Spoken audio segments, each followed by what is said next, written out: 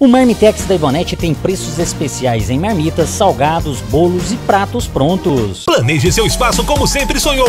Venha dar forma aos seus sonhos em Florindo Móveis. Parcelamos em até 48 vezes. Casal é feito refém durante assalto e vítima foi abandonada em São Sebastião do Paraíso. Aconteceu assalto à mão armada em uma residência que fica na cidade de Santo Antônio da Alegria, no estado de São Paulo. Segundo uma das vítimas, que foi é, deixada pelos assaltantes próximo à fazenda Taboca, zona rural da cidade de São Sebastião do Paraíso, ele e sua esposa estavam em sua residência quando foram rendidos por dois homens que anunciaram o um assalto utilizando um revólver. Ainda, segundo a vítima, sua esposa ficou amarrada em um cômodo da residência e ele foi colocado dentro do carro HB20 da família branco, de onde os assaltantes seguiram sentido a cidade mineira. E no meio do caminho ele foi é, tirado do seu veículo e passado para uma caminhonete Hilux, onde estavam outros dois homens que circularam com ele durante um tempo e o abandonaram nas margens da BR-491.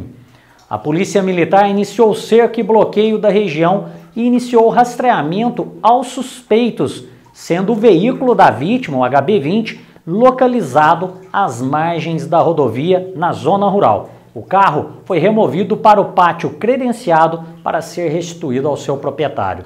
Até o fechamento desta matéria, os assaltantes não foram encontrados, apesar do rastreamento realizado pela Polícia Mineira e também pela Polícia Paulista. Quer saber tudo o que acontece na região? Procurem nas redes sociais MacGyver TV. Chegou a hora de vacinar-se contra a gripe. De 10 a 31 de maio, nossos postos de saúde que possuem sala de vacinação estarão abertos para lhe atender. Mas atenção!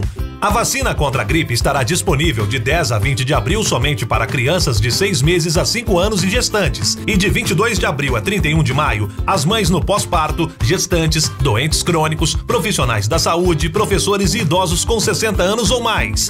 Vacine-se contra a gripe e viva com mais saúde. Prefeitura de Guaxupé. Saúde sempre em primeiro lugar.